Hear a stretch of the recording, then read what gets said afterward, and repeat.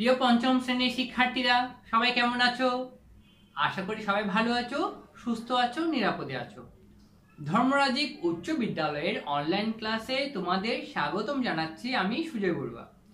এখন আমি তোমাদের ইংলিশ সেকেন্ড পেপার অংশ থেকে কোয়েশ্চেন নাম্বার নাইন অর্থাৎ ডব্লিউএস কোয়েশ্চেন্স নিয়ে আলোচনা করব। ইতিমধ্যে আমরা ডব্লিউএস কোয়েশ্চেন্স কীভাবে ব্যবহার করতে হয় সাবজেক্ট থাকলে আমরা কোন ধরনের ডব্লিউএস কোয়েশ্চেন ব্যবহার, কোন ডব্লিউএস ওয়ার্ড ব্যবহার করে থাকি অবজেক্টকে বা অবজেক্টের নিচে আন্ডারলাইন করা থাকলে আমরা কোন ধরনের ডব্লিউএইচ ওয়ার্ড ব্যবহার করে থাকি সেই সম্পর্কে আমরা অনেকটা ধারণা পেয়েছি। আমরা ধারণা পেয়েছি অক্সিলারি ভার্ব সম্পর্কে। অক্সিলারি ভার্বগুলো কি কি? কখন অক্সিলারি ভার্ব ব্যবহার করতে হয়? আবার কখনো বা সেন্টেন্সে দেওয়া থাকে। আর যখন সেন্টেন্সে দেওয়া থাকে না, তখন আমরা অক্সিলারি ভার্ব হিসেবে কি এনেছিলাম? ডু অথবা ডাস অথবা ডিড অর্থাৎ আমরা যখন ডব্লিউএইচ ওয়ার্ড লিখব ডব্লিউএইচ ওয়ার্ডের পর অবশ্যই অক্সিলারি ভার্ব ব্যবহার করতে হয়। সেন্টেন্সে অক্সিলারি ভার্ব না থাকলে তাহলে আমরা কি ব্যবহার করেছি? ডু ডাস ডিড ব্যবহার করেছি টেন্স এবং পার্সন অনুযায়ী। ঠিক আছে? এবার আমরা আজকে ডুপ্লেস কোয়েশ্চেন্স থেকে কিছু আমরা সেন্টেন্স নিয়েছি। এই সেন্টেন্সগুলোকে কীভাবে বা এই সেন্টেন্সগুলোতে যে সকল ওয়ার্ডের নিচে আন্ডারলাইন করা থাকবে সেই সকল ওয়ার্ডকে বাদ দিয়ে কীভাবে ডব্লিউএইচ ওয়ার্ড ব্যবহার করতে হয়, সেই সেটাই আমরা আজকে দেখব। ঠিক আছে? তাহলে আমরা আলোচনায় চলে যাচ্ছি। প্রথমে দেখো, মারিয়া ইজ হ্যাপি। হ্যাপি বলা হচ্ছে we eat to live his name is Shuvo Jessica is from the United Kingdom the weather was nice ice cream is delicious food. Atnan is 10 years old. There are 13 upajilas in Kishorganj district.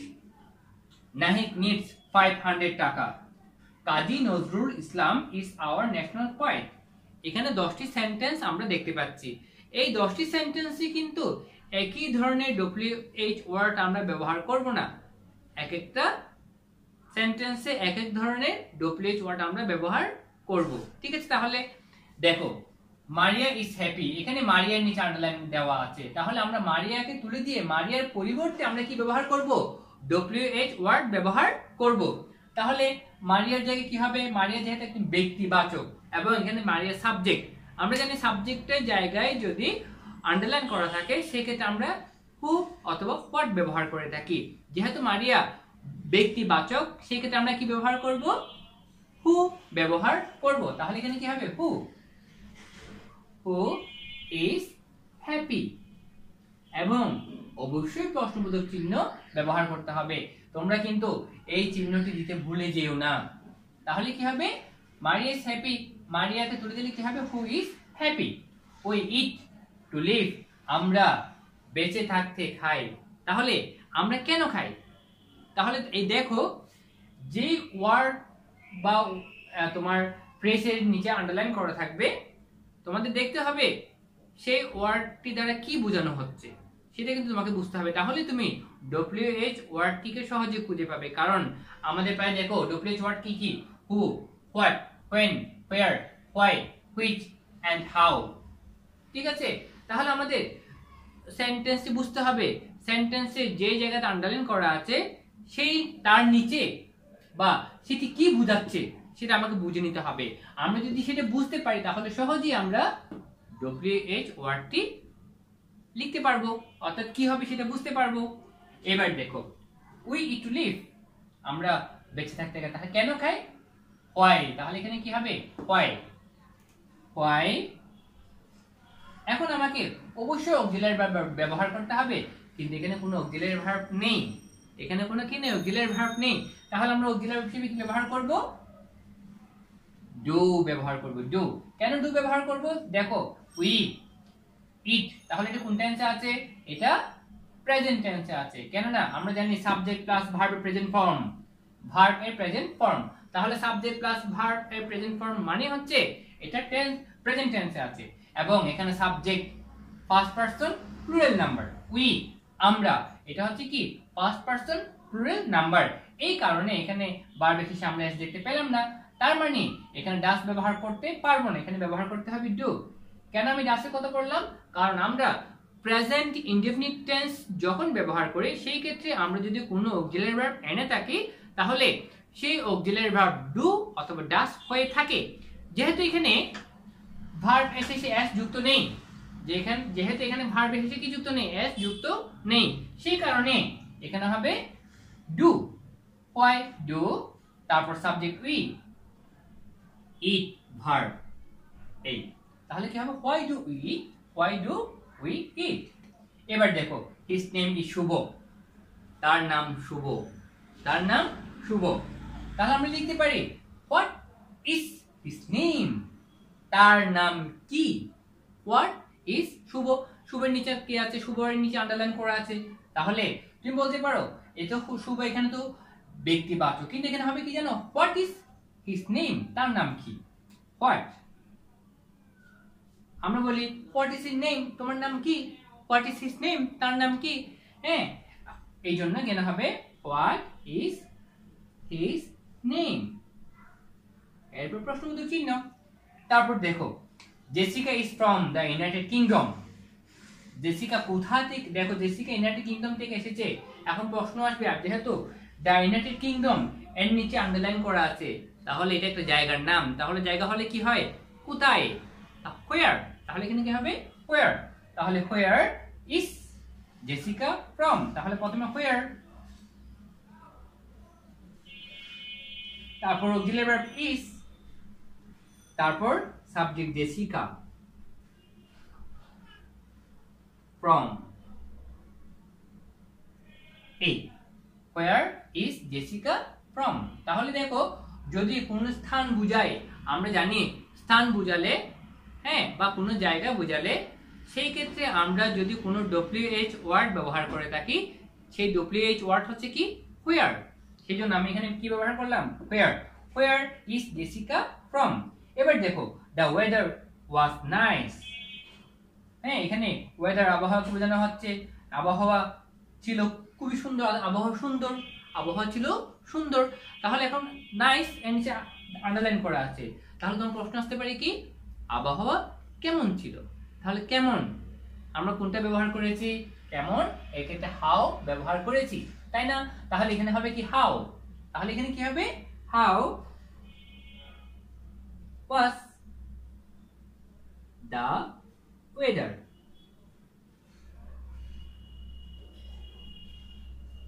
মনে রাখবে, যদি কোনো সেন্টেন্সে তোমার WH word ব্যবহার করো, তাহলে এরপর অবশ্যই অক্সিলারি ভার্ব অক্সিলারি ভার্ব ব্যবহার করতে হবে।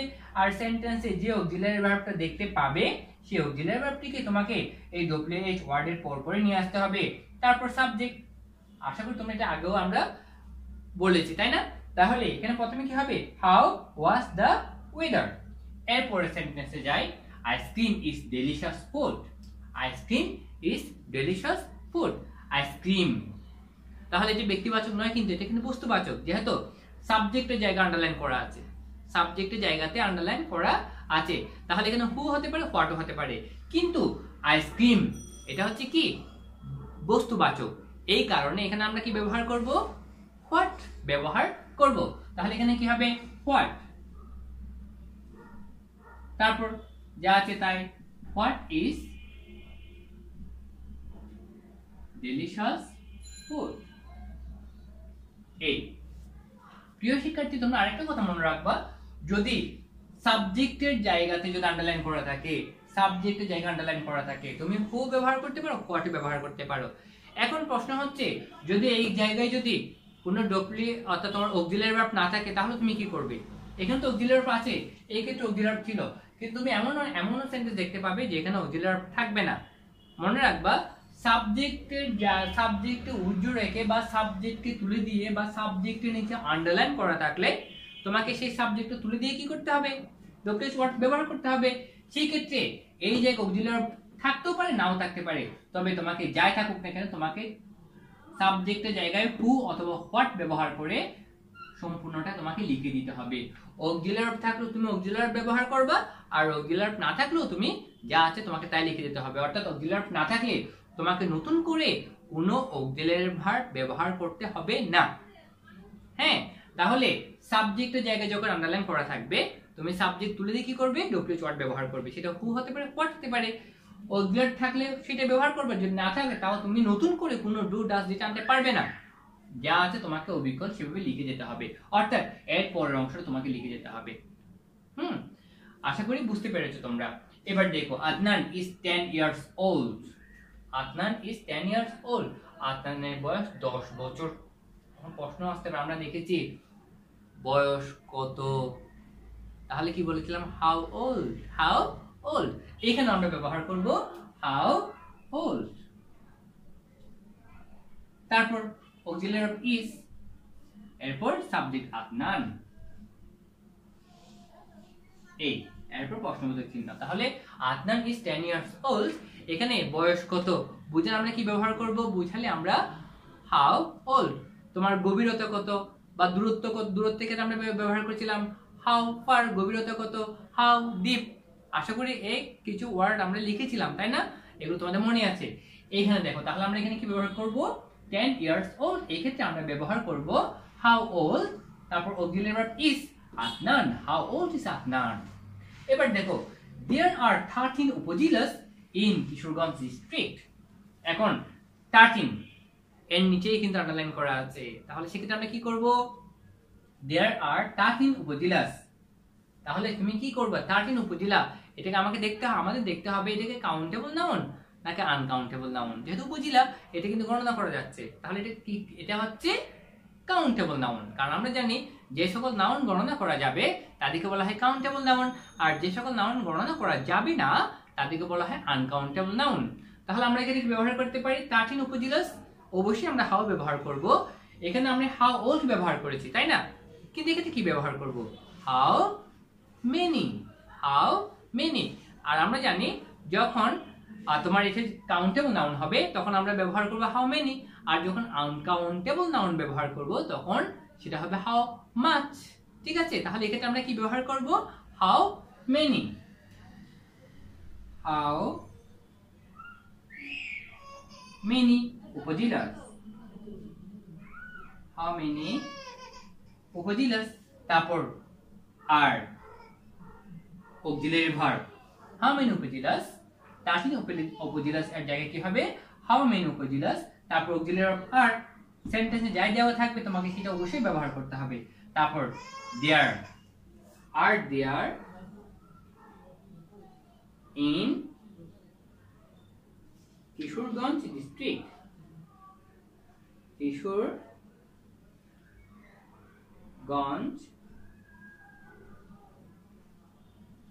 district এরপর কি করতে হবে? প্রশ্নবোধক চিহ্ন ব্যবহার করতে হবে।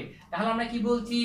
যখন কোনো সেন্টেন্সে দেখতে পাবে যে ওয়ার্ড বা যে, অর্থাৎ যার নিচে আন্ডারলাইন করা আছে, সেটা কি কাউন্টেবল নাউন নাকি আনকাউন্টেবল নাউন দেখতে পাচ্ছি কাউন্টেবল নাউন তার উপজেলাস এই কারণে আমাকে কি ব্যবহার করতে হবে?